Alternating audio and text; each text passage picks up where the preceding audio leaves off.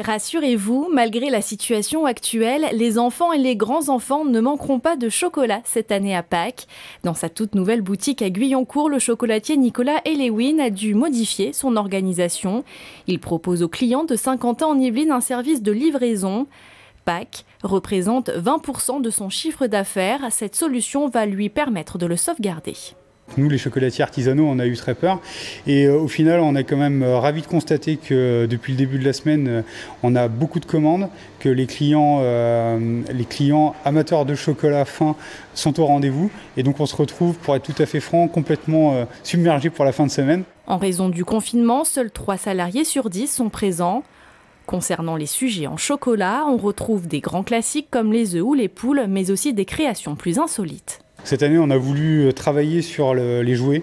Donc on a fait deux jouets en montage, un, jouet en forme de cheval à bascule et un autre en forme de diabolo. Cinq sortes de chocolats sont utilisés, du plus traditionnel au plus original un chocolat à base de framboise et un chocolat à base de fruits de la passion.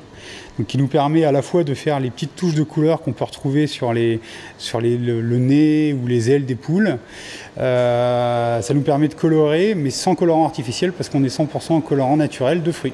La boutique, qui propose également des viennoiseries et de la pâtisserie, met en place son service de livraison à domicile jusqu'à la fin du confinement.